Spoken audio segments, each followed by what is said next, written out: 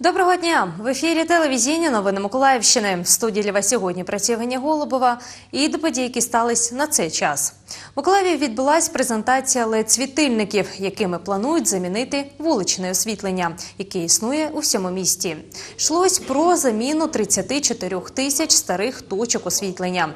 LED-світильники, тобто світлодіодні, мають срок служби понад 100 тисяч годин, запевняють представники компанії, яка їх виробляє. Мы для Николаева разработали три Ми для Миколаєва розробили три серії світильників. Перша це Галеон. Цей світильник від 80 до 120 Вт для розміщення на центральних вулицях з найбільш інтенсивним транспортним потоком.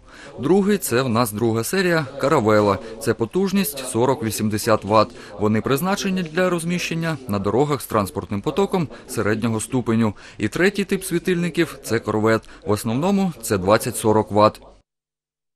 Повні підвали води, а у під'їзді сморід. В 14-поверховому будинку на вулиці Героїв України 101, що в Соляних три дні тому затопило підвал. Чистити труби та відкачувати воду почали тільки вчора.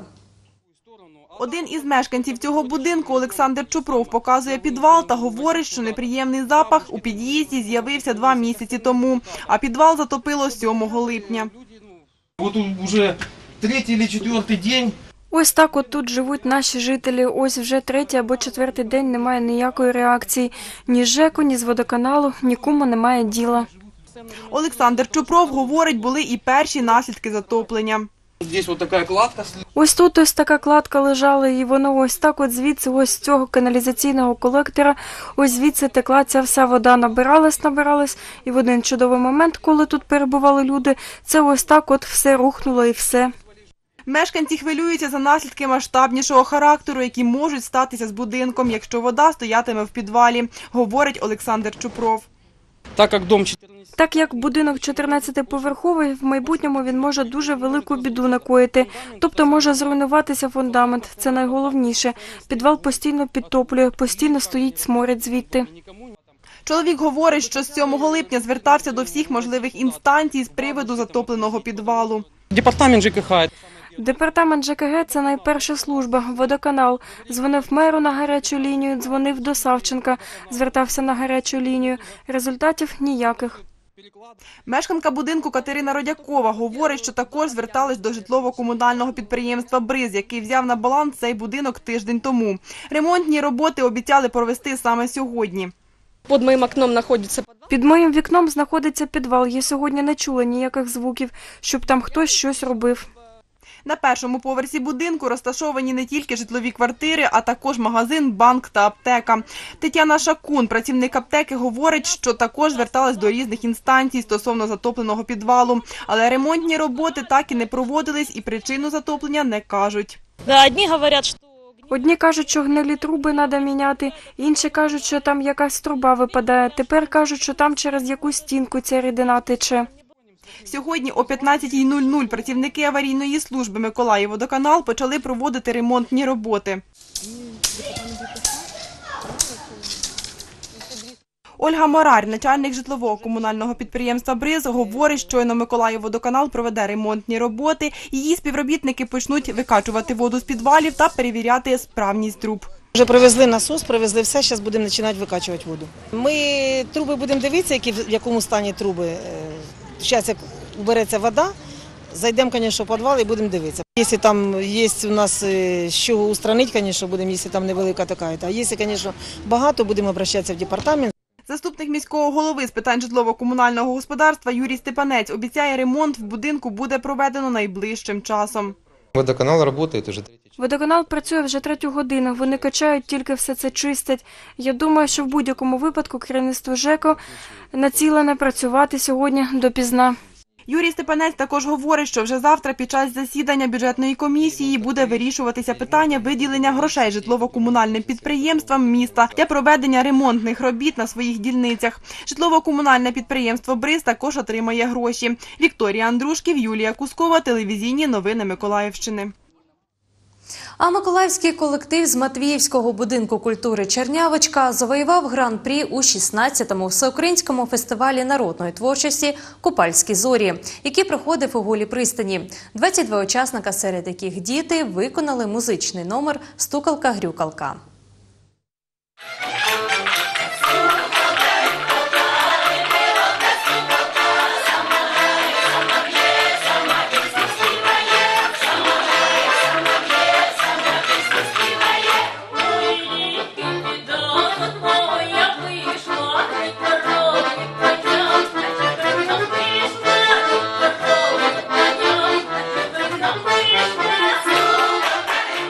Пісню ми е, в репертуарі виконуємо ну, порівняно недавно.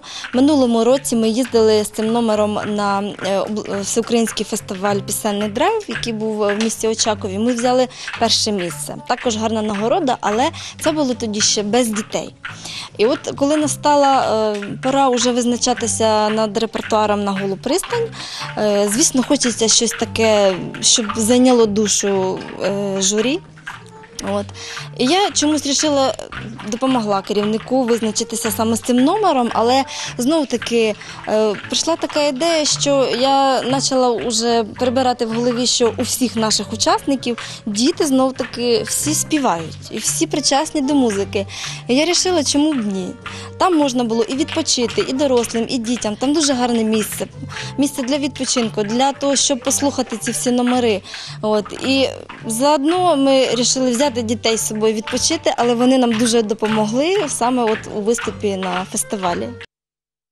Детальніше про це вже у наступному випуску новин. Ну а ми продовжуємо. На Миколаївському центральному стадіоні поклали газон на новому тренувальному полі. Вартість трав'яного покриття 2 мільйони гривень. За два місяці на цьому полі можна буде проводити тренування та матчі. Поряд з основним полем муніципального футбольного клубу Миколаїв, де команда приймає суперників по першій лізі чемпіонату України, потроху з'являються риси нового поля. Воно тренувальне.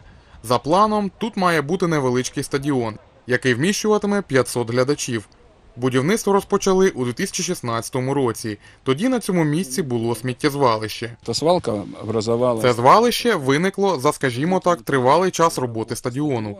Сюди звозили, так скажемо, все, що не звозили зі стадіону. І загалом тут була гора, купа сміття і бетону. Роботи з покладання газону виконує підрядник, який зробив подібну роботу на різних стадіонах України. Тендер виграла фірма. Тендер виграла фірма Дніпропетровська. Вона має досвід будівництва подібних об'єктів і за кордоном, і в Україні. І Львів арену вони будували, і Дніпро арену вони будували, і в Івано-Франківську сьогодні це поле будують. У нас будують це поле. Здали поле десь, якщо я не помиляюся, десь у Харківській області, у якомусь селі, теж натуральне. Ось, тобто вони будують і штучні поля, і натуральні поля. Якщо для клубу протягом найближчого місяця виділять кошти у міській раді, наприкінці літа мінятимуть газон і на головному полі. Там цього не робили більше 50 років. Про це знають і у керівних футбольних органах країни. Власне, з федерацією були проведені перемовини, і вони нам узгодили, що ми будуємо це поле, і поки ми там будемо цей газон міняти, там, наприклад, одне коло чемпіонату, нам дозволять як виключення грати на цьому полі, значить, календарні матчі. За тиждень газон розпочнуть поливати. Коли довжина коріння газону сягне 5-7 см, можна розпочинати його експлуатацію. Процес адаптації трав'яного покриття півтора-два місяці. Володимир Степанов, Ігор Чорний, телевізійні новини Миколаївщини. І поки що це все. Наступний випуск новин вже о 17.00. А я прощаюсь з вами. Бажаю вам гарного настрою та вдалого дня.